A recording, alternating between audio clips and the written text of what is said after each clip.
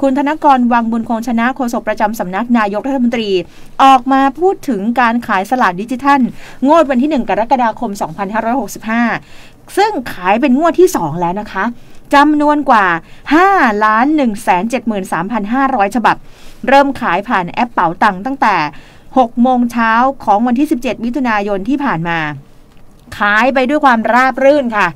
คนสนใจเยอะมากนะคะสำหรับการจ่ายรางวัลสลากดิจิทัลงวดแรกภาพรวมก็เป็นไปด้วยความเรียบร้อยค่ะมีระบบมีการแจ้งเตือนการถูกรางวัลด้วยนะโอ้โหอยากเป็นคนนั้นจังเลยนะซึ่งผ่านการเอ่อแจ้งเตือนนะคะในแอปเป๋าตังค์ มีสลากถูกรางวัล 73,191 ใบ มีผู้โชคดีถูกรางวัลถึง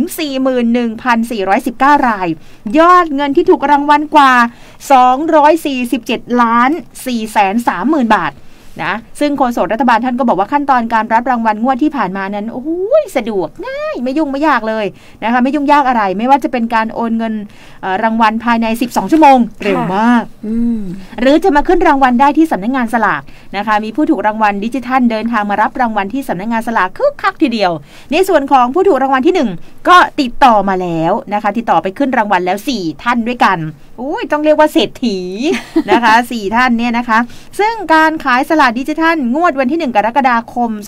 2565 โฆษกรัฐบาลคุณธนกรก็บอกว่าโอ้ได้รับความสนใจจากคนซื้อมากมายเลย แล้วก็คาดว่าจะใช้เวลาในการจำหน่ายสลาก เร็วกว่างวดที่ผ่านมา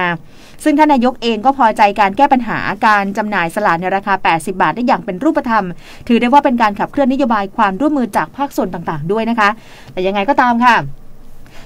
นักเสี่ยงโชคทั้งหลายนะคะท่านนายกเองก็ฝากเตือนพี่น้องประชาชน อย่าหวังรวยจากการถูกสลาก ขอให้มีสติในการซื้อ